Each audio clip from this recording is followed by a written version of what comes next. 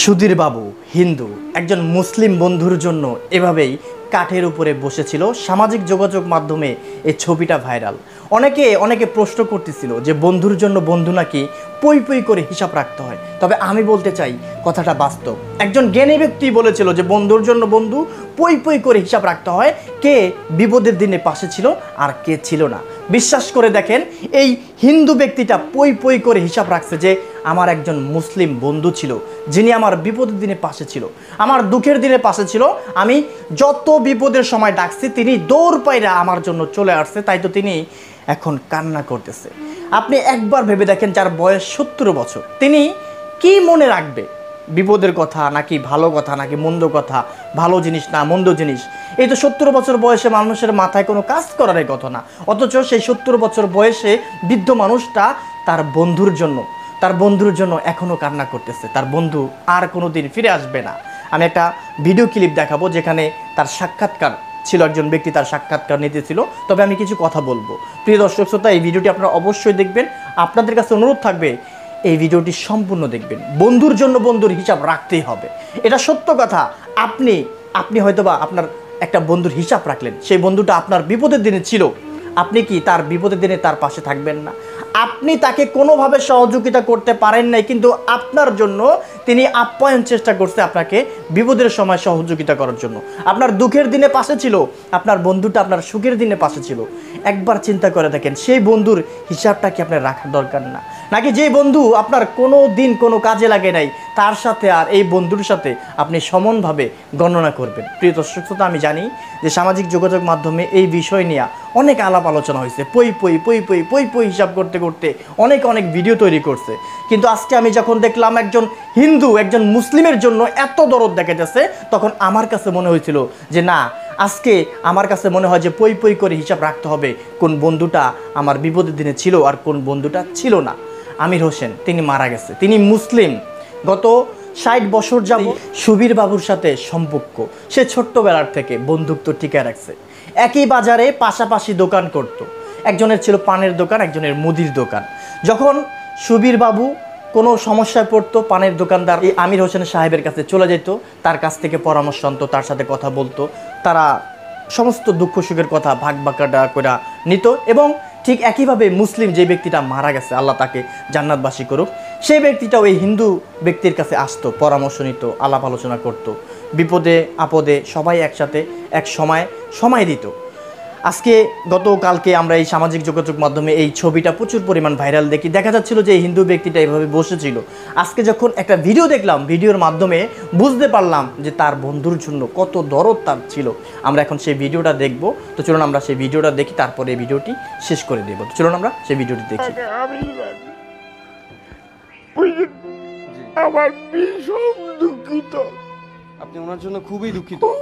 মানে আপনার অসুস্থতাকে আপনি আর ইয়ে মানে ইয়ে গুনছেন না যে আপনার না, না। পরোয়া না করেই আপনি ওইখানে মানে আপনার এটা হচ্ছে আপনার এক ধরনের ভালোবাসা আমার আমার ভালোবাসা আর কিছু না।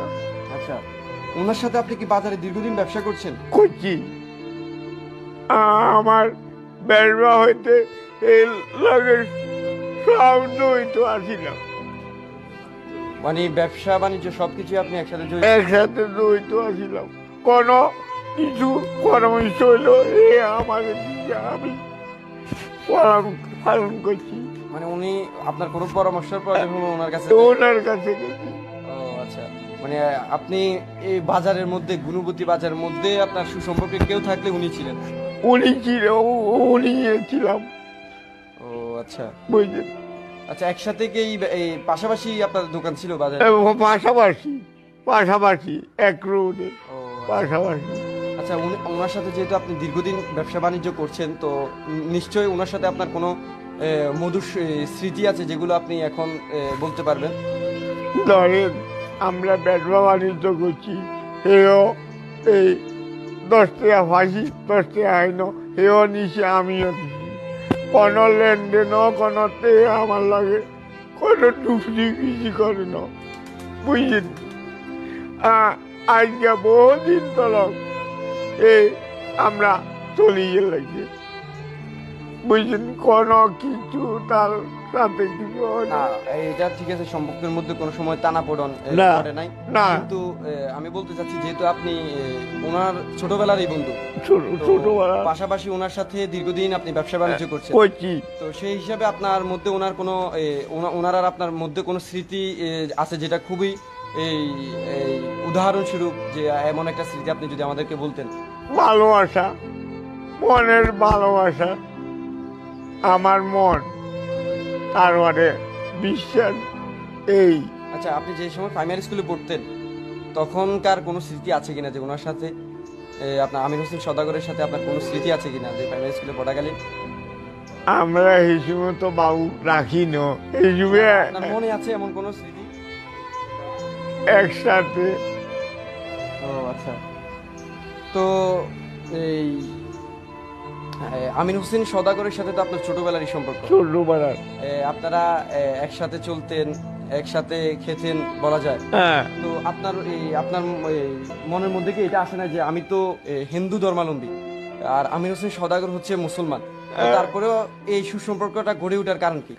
এই হিন্দু মুসলমানের পার্থক্য আমরা ধারণা করি না কোনো সময়। আমরা কোনো সময় পার্থক্য ধারণা করি না। এই চলছি কাজ কোনো সময় আমরা এটা ধারণা করি না।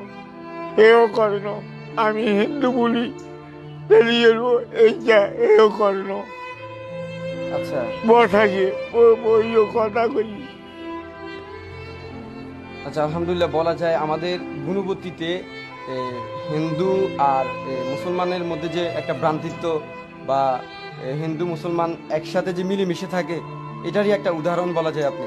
ঠিক এইটাই এইটাই এইটাই আচ্ছা গতকাল জানাজার পিছনে আপনার এই বিমর্ষ হয়ে বসে থাকা ছবি সারা দেশে প্রচার হয়েছে।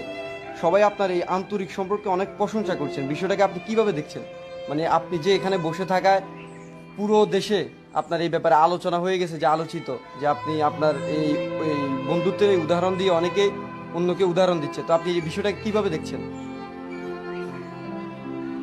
আমি এই কথাটা এ, অর্থাৎ আপনি যে আপনি কালকে অজরে কাঁদছেন ওনার জানাজার পিছনে বসে ওনার জন্য আপনার মনে পড়ছে তো এই এই ছবিটা এই একটা ছবি মানে একজন একটা ছবি তুলছে আপনার হ্যাঁ। এই ছবিটা পুরা দেশে আলোচিত হয়ে গেছে। হ্যাঁ। পুরা দেশে আপনার এই বন্ধুত্বের এই বিষয়টাকে অন্যের কাছে উদাহরণস্বরূপ পেশ করছেন। হ্যাঁ। আপনি বিষয়টাকে কীভাবে দেখছেন? মানে আপনার কাছে কে- কেমন মনে হচ্ছে এই? আমার তো ভালো মনে করি না। আমার আমার শেষ এতে কি আমি ওনার শ্বাসকীর্ত দেখে গেছে এটাই আপনার কাছে আমার সন্তুষ্ট। আর কিছু না যা আর আপনি ওনার